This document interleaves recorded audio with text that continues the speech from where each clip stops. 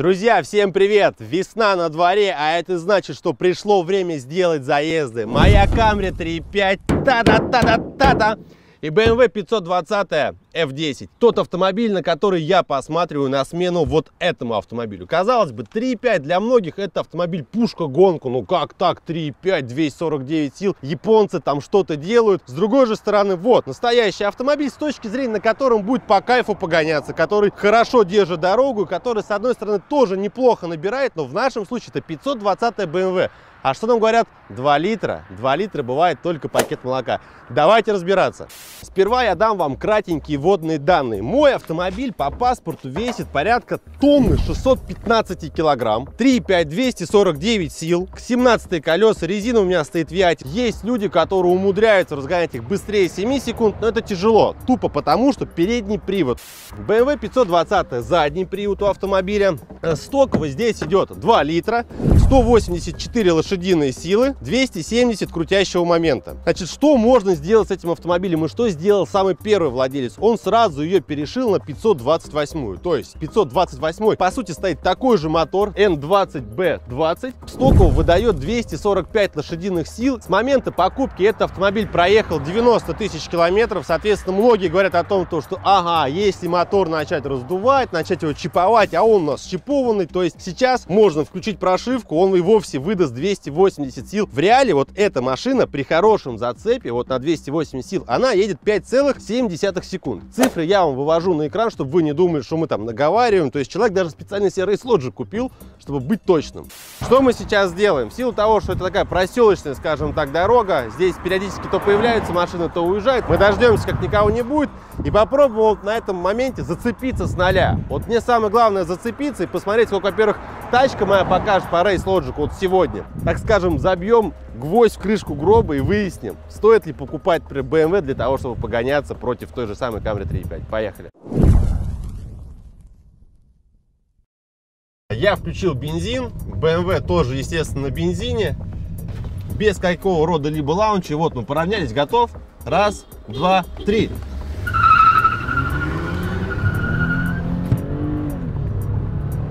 Блин, вот понимаете, видите, вот чуть-чуть, конечно, я пробуксовываю, но в любом случае, смотри, вот у нее сейчас как бы 245 сил. Уходит, уходит, однозначно уходит. Ну, нужно еще разочек попробовать. Раз, два, три.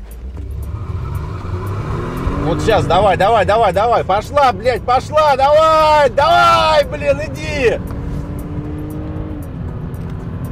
Вот дождик уже начинается, но пока еще более-менее нормально, блин. Вот посмотрите, вот типа 245 сил, да, сейчас этого двухлитрового мотора раздутого, он еще турбовый. Уходит, уходит машина однозначно.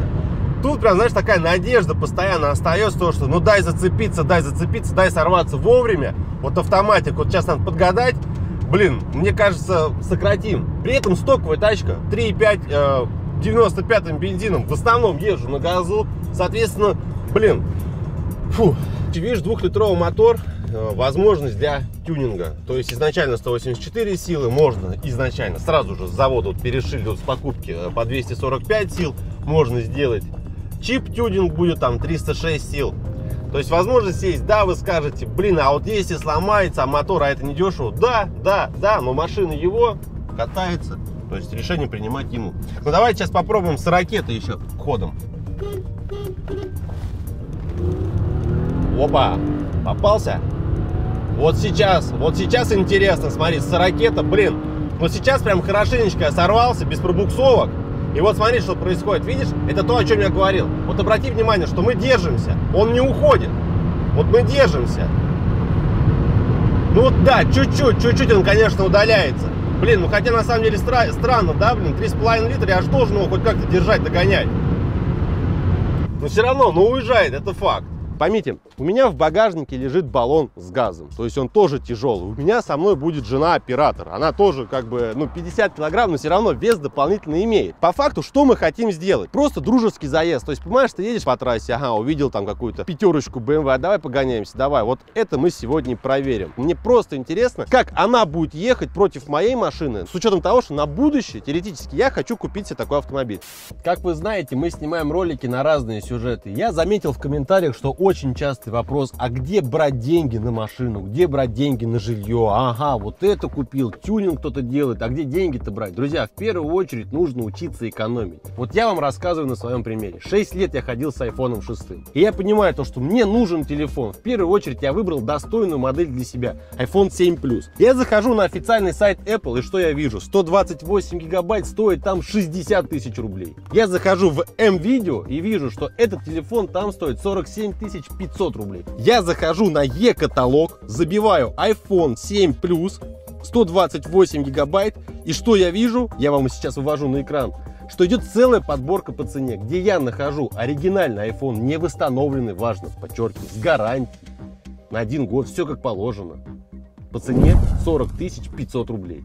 Я приехал в магазин и забрал его по цене 40 500 рублей. Прекрасно знаю, что наверняка кто скажет, ага, постанова, этот iPhone что не настоящий, ты его не покупал, друзья, по-быстрому показываю, вот он запечатанный, по имейлу пробили, iPhone оригинальный, все есть, скрываю просто-напросто в гиприваз. Вилсаком на мини-балках. Оп, пожалуйста, оп, чуть не упал. Открываем его. А, а, а, смотри, поближе, поближе. Вот он, новенький, а, ребята, ну красотища. Все, теперь я с айфоном. Именно поэтому я оставляю на e-каталог ссылку. Друзья, поймите правильно, нет призыва к тому, что перейдите по ссылке, что-то купите. Вот ты живешь своей жизнью, захотел ты себе телевизор купить, камеру купить, либо что-то. Зайди на e-каталог, забей, посмотри подборку. Наверняка найдешь наиболее низкую цену. Во-первых, время сэкономишь, во-вторых, деньги сэкономишь. Но действительно полезно, что тут, тут спорить. Е-каталог, друзья. Хочешь купить любую вещь, абсолютно любой товар, есть все. Заходишь туда, забиваешь, смотришь подборку по цене и отправляешься в тот магазин, где наиболее выгодная цена для тебя. Поэтому Е-каталог, ссылочку оставляю в описании. Так, ну что, идеальные условия, вообще никого нету, ровная дорога, чуть-чуть дальше будем ходить. Так, готовы? Так, ну что, а вот, сейчас мы зацепились прям одновременно с ним. То есть, ну мы видишь, вот реально срываемся же вместе. И вот он пошел, сотку мы уже едем. То есть вот сейчас 140, вот такой вот разрыв у нас. 160, она уходит, она уходит вперед. Вот обратите внимание, вот сейчас реально хорошо зацепились, и Race Logic показывает 0,107,2 секунды. 7,2. 245 же, правильно у тебя? Го готов? Раз, два, три. Вот он с лаунча, а я без лаунча. Ну вот сотка, парни, сотка. Ну вот обрати внимание, да, ну блин, все равно уезжает. Вот как я и говорил, все равно, все, дальше как бы смысла уже нету гнать. Вот я знаю, что многие считают, убеждены, да и вообще на практике так и происходит, что вот японец, он надежный. Ты его купил, масла меняй, катайся, ничего с ним происходить не будет. Но с другой стороны, вот этот автомобиль, ну серьезно, друзья, он очень скучный. Вот я владелец Camry 3.5, я езжу на ней по городу. Да, она комфортная, внутри там больше места. Ты садишься, развалился, но кайфую здесь больше. Моя жена, потому что она едет сзади на этом самом диване. В тот же момент, когда ты хочешь разогнаться на автомобиль, да, ты нажимаешь там педаль в пол, да, он быстро разгоняется, да, можно разогнаться там до 200 на трассе. Но понимаешь, ты не чувствуешь от этого автомобиля драйва. То есть эта машина, сделан для того, чтобы ты, передвигаясь по городу, там плавненько нажимал на педаль газа, и она хорошенечко там вроде как разгонялась. Вот этот автомобиль немецкий, да, про него же как говорят, вот если немцы покупают, то только нового. Вот если, например, здесь, да, заводы поставили прошивку, здесь гоняют, с одной стороны, можно подумать, блин, да он долго не проживет. Ну, автомобиль уже 5 лет, 92 тысячи пробега, пока что нареканий никаких нету. Соответственно, если ты этого делать не будешь, просто будешь передвигаться, и вовсе будет проблем еще меньше там на будущее. Маленький такой конструктор, который можно дорабатывать, который можно чиповать, можно увеличивать мощность. Естественно, когда есть деньги, когда есть выбор, то лучше взять трехлитровый дизель. Он и надежный, этот мотор, и сам по себе крутящий момент там гораздо выше. Да и вообще в целом, если там чипануть тачку, то там будет совсем другая история. Готов? Да. Ну, я пишу. Ну вот вжимает, парни. Честное слово, аж даже камеры по носу себе дал. Конечно, шумоизоляция совсем другой уровень. Вообще в целом в тачке сидишь, знаешь, гораздо приятнее разгоняться. Так, ну вот у нас цифры получаются следующие. Я вам зачитываю. 0,63 3 секунды ровно. У меня было 3,6. 0,100 6,4 секунды. То есть у нас разница получается 0,8 секунд, ну практически секунда. На всякий случай еще разочек. Опа, опа, опа. Вжимает, вжимает, но неплохо. Да ничего на тебя все зацепилось, не, пробуксовывает, сто процентов. Так, ну вот смотрите, вот сейчас мы зацепились без пробуксовок. У нас 0,60 получается 2,9, 0,100 получается 6,3. Собственно, вы видели все сами. Знаете, на самом деле, вот хочется начать оправдываться, говорить, да блин, вот чуть-чуть прям вот не хватает, прям вроде бы цепляясь, нужно покататься, залить бензина 98 баллон убрать вот с газом. Тогда автомобиль будет полегче, тогда я смогу сесть ему поближе на хвост, но вы видите сами. То есть я газую, вот у него прям машина реально срывается гораздо быстрее. То есть раз он сорвался, все, я еду за ним, Блин, мне прям все время кажется, что вот-вот-вот-вот нагоним, но при этом мы разгоняемся до 200 км в час, до 200. То есть, но все равно расстояние при этом, знаешь, как бы не уменьшается. С одной стороны, я думал, вот сейчас после 140-150 начну нагонять. Ни хрена. У меня максимальная скорость 212 км в час. У него максимальная скорость, ну там примерно 230 плюс.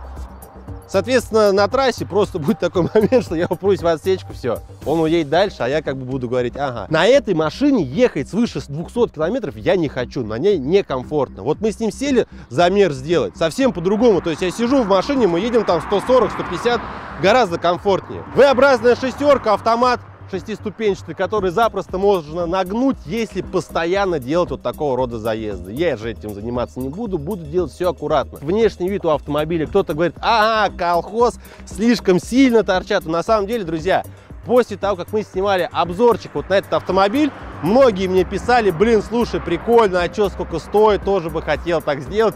Все-таки вид имеет, ну согласитесь. Поэтому посматриваю. Единственное, что меня смущает, ну даже не то, чтобы смущает, друзья, все упирается в финансы. Будут бабки, будет 2 ляма. Можно смело брать 528 с полным приводом, либо 530 дизельную с полным приводом. Будем смотреть. В общем, пишите ваше мнение в комментарии, что вы думаете по этому поводу. Какой из этих двух автомобилей бы вы выбрали себе на повседневную езду, либо же что-то другое посмотрели. В любом случае, всех вас приглашаю в комментарии для того, чтобы обсудить вот этот маленький, но дружеский заезд. Спасибо за просмотр, спасибо за подписку на канал, ставьте лайки, ставьте дизлайки, обязательно подпишитесь на инстаграм канала. Хотите заехать с японцем? Все контакты со мной в описании. До новых встреч, всем пока-пока.